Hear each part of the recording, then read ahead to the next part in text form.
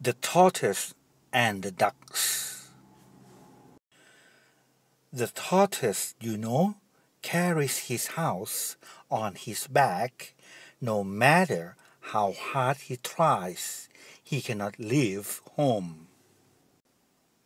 They say that Jupiter punished him so because he was such a lazy stay at home that he would not go to Jupiter's wedding even when especially invited. After many years, Tortoise began to wish he had gone to that wedding. When he saw how gaily the birds flew about, and how the hare and the chipmunk and all the other animals ran nimbly by, always eager to see everything there was to be seen. The tortoise felt very sad and discontented.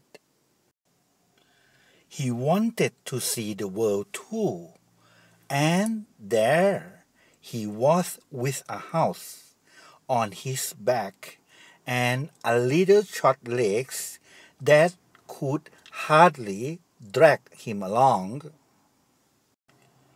One day he met a pair of ducks and told them all his trouble. We can help you to see the world, said the ducks. Take hold of this stick with your teeth, and we will carry you far up in the air, where you can see the whole countryside. But keep quiet, or you will be sorry. The tortoise was very glad indeed. He seized the stick firmly with his teeth.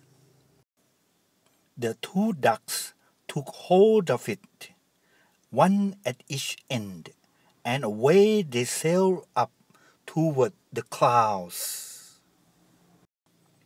Just then a crow flew by. He was very much astonished at the strange sight and cried, This must surely be the king of tortoises. Why, certainly, began the tortoise. But as he opened his mouth to say these foolish words, he lost his hold on the stick. Moral Foolish curiosity and vanity often lead to misfortune. And now it's time to say goodbye. Hopefully, the lesson is helpful for your understanding. And do not forget to press like, share, and subscribe. See you in the next video. Thank you. Bye.